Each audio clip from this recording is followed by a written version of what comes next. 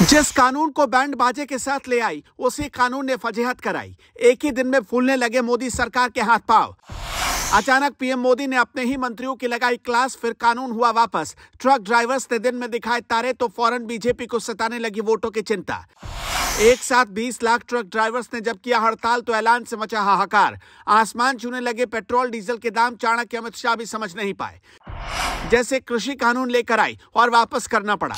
जैसे सीए और एनआरसी लेकर आई, वापस करना पड़ा। ठीक उसी तरह यू टर्न सरकार को हिट एंड रन कानून पर भी यू टर्न लेना पड़ा। सरकार ने ऐसा क्यों किया? और हिट एंड रन कानून में ऐसा क्या है जिसकी वजह से ट्रक ड्राइवर्स को यह दिन देखना पड़ा? यह समझने से पहले जरा बड़ा अपडेट जान लीजिए। खबर है कि सरकार ने ट्रक कांग्रेस एसोसिएशन और दूसरे संगठनों से मुलाकात करने के बाद फैसला कर लिया कि वो जल्दी हिट एंड रन कानून वापस ले सकती है। अगर ऐसा हुआ तो मोदी सरकार की यह बड़ी हार होगी। आखिर हिट एंड रन केस में ऐसा क्या बदला, जिसने पूरे देश में हाहाकार की नौबत आ गई? पेट्रोल पंप पर तेल खत्म हो गया। बाजारों में सब्जियों की कीमतें आसमान छूने लगी। लोगों को खाने पीने की चीज़ें दोगुनी कीमत पर मिलने लगी। दिल्ली से लेकर पंजाब तक, हरियाणा से लेकर हिमाचल तक और यूपी से लेकर एमपी तक मंडियों में कारोबार ठप पड़ गया। दरअसल ट्रक ड्राइवर्स को परेशानी सरकार के कानून से नहीं थी, बस इस बात से थी कि सरकार ने जानबूझकर उन्हें टारगेट किया।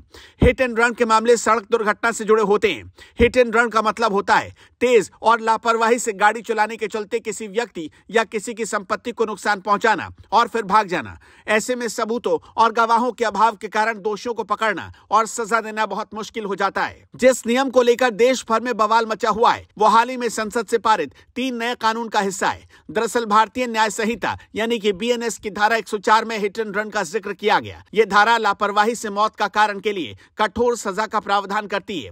आरोप है कि कई जगहों पर प्रदर्शन को दबाने की कोशिश की गई। जानबूझकर ट्रक ड्राइवर्स को धमकाया गया, लेकिन वो डरने वाले नहीं थे। ट्रक ड्राइवर्स ने अपना प्रदर्शन जारी रखा। अब तो कांग्रेस ने भी खुले तौर पर ट्रक ड्राइवर्स को पूरा समर्थन दे दिया। अखिलेश यादव ने तो ट्रक ड्राइवर्स के पाव धोए। और साफ़ कर दिया कि जब तक न्याय नहीं मिल जाता, तब तक हक की लड़ाई जारी रहेगी। आपको बता दें कि जो नया कानून सरकार की तरफ़ से बनाया गया उसके मुताबिक अगर कोई ड्राइवर एक्सीडेंट करता है और वहाँ से भाग जाता है और किसी की मौत हो जाती है तो उस पर करीब सात लाख रुपए तक का जुर्माना लगाया जा सकता है और साथ ही साथ दस साल की सजा का भी प्रावधान किया गया है। इसलिए हिट एंड रन कानून सीधे तौर पर लोगों के निशाने पर आ गया। ड्राइवर्स का ये कहना है कि कभी भी वो जानबूझकर एक्सीडेंट थोड़े ही ना करते हैं, हादसा हो जाता है, लेकिन इसके लिए इतनी बड़ी सजा मिलना बहुत गलत है। उनका तर्क ये है कि कभी भी वो नहीं चाहते किसी भी चोटिल आदमी को छोड़कर भाग जाए, लेकिन अगर वहाँ पर रुकते हैं तो उनकी जान को भी खतरा हो सकता है। उन्हें मॉब लिंचिंग का शिकार होना पड़ सकता है, जिसकी वजह से उन्हें मजबूरी में वहाँ से भागना पड़ता है। लेकिन अब अगर कोई भी ड्राइवर ऐसा करता है तो उसे दस साल तक की जेल हो सकती है और सात लाख का जुर्माना अलग देना पड़ सकता है। अब सवाल यही उठ रहा है कि आखिर जो ड्राइवर पंद्रह हज़ार बीस हज़ार रुपए की नौकरी करेगा, वो मुश्किल से अपने परिवार का पेट पालेगा कि वो जुर्माना भरेगा?